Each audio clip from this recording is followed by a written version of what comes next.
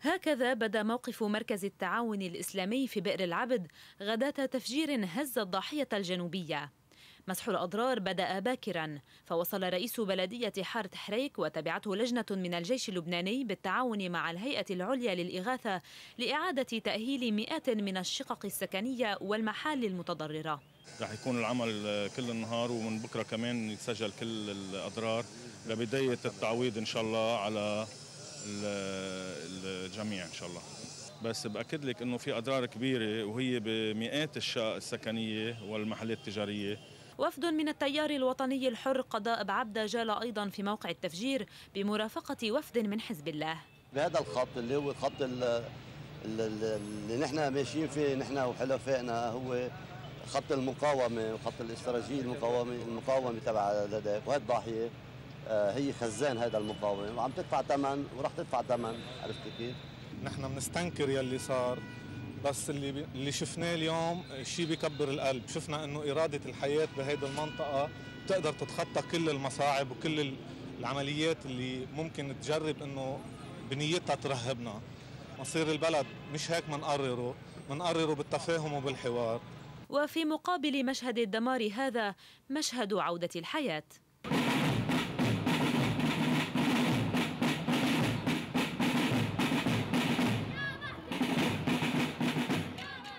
عائلة ناصر تمكنت من العودة إلى منزلها في الطبقة الخامسة من المبنى المقابل لموقع التفجير. رمم المبنى بعد حرب تموز عام 2006 وها هو ينتظر إعادة الترميم من جديد. فجأة بنسمع الصوت كتير قوي.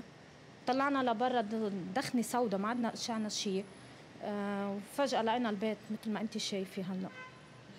إجوا شافوا هون الأضرار؟ لا هلأ ناطرين. أصلا ما دقرنا شيء بعده كله على مثل ما كان. المحال التجارية فتحت أبوابها ومحاولة من أصحابها لاستكمال حياتهم الطبيعية. واليوم فتحتوا عادي؟ عادي جدا يعني. ما بيأثر نحن ما بيأثر فينا هيك شيء. نحن شعب المقاومة. إيه؟ آه مثل العادة. عم ننظف ونظبط المحل لحتى نرجع نشتغل طبيعي مثل كل يوم يعني. يعني بكرة بتكونوا فتحتوا عادي بإذن الله بنفتح. لو اليوم بصرنا بنفتح. ما عندنا مشكلة ابدا ابدا ابدا. إن شاء الله بكرة أو يومين مش أكثر يعني بس لحتى يظبطوا الواجهات. اذا يبدو أن سيارة بئر العبد المفخخة لم تؤثر في سير التحضيرات للشهر الفضيل ولو أن التفجير اخترق هدوءا كانت تتمتع به الضاحية الجنوبية.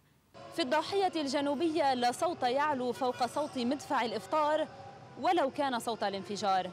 وإذا كان أول رمضان رحمة للناس فإن كل ما يأمله السكان هنا أن يكون آخره عتقا لهم وللبنانيين من نار الفتنة.